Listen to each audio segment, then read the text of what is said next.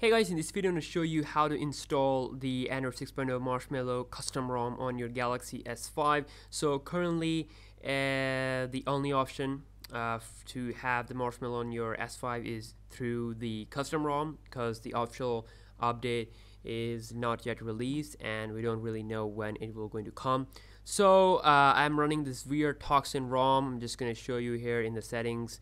I already did a separate review that you can watch on my channel so sorry for the delay in the tutorial video but anyways now first of all make sure you download the ROM from the link down below in the description box and also download the G apps along with it because of course you need to flash them in order to make use of Google applications like Play Store and everything. So yeah, uh, after downloading those two things, and before that, make sure you have root access on your device, and also make sure your device have a custom recovery installed. So yeah, those two things. Without those two things, you might will you you will not be able to flash this custom ROM or any custom ROM out there. So yeah, if you have those two things, then we are good to go.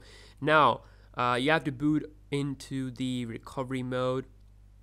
Now I'm just gonna point out that this ROM here uh, is working absolutely fine. The only problem with this ROM is that the video recording is not working but if you are okay with no video recording if you just take selfies and photos then I think you are good to go.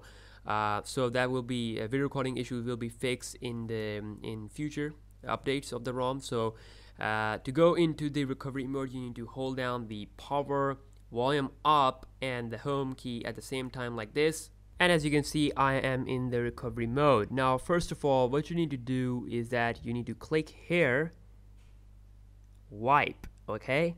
Now you need to make uh, you need to do a factory data reset. So just swipe to do a factory data reset. But before that uh, it is recommending that you should make a backup so that uh, there will be no problems. If the if the if the if your phone could not boot or anything happens then you can uh, restore it. So make a backup first and then do a wipe data factory reset then click here on the install tab.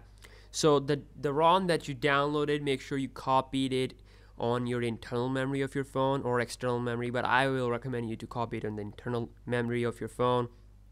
Uh, scroll down to the place where you have the ROM and then selected I actually had the ROM in my SD card uh, so I think like it's not kind of kind of running my SD card. I can't really see the option for ext SD card but but yeah scroll to the place where the ROM is available just select it uh, and then click install and swipe to install and yeah that it will going to uh, takes it will takes like few minutes and your ROM will be uh, installed then just boot up normally and your phone will boot up normally without any problem. So I showed you the ROM. I also did a separate video for the proof that this ROM is indeed working.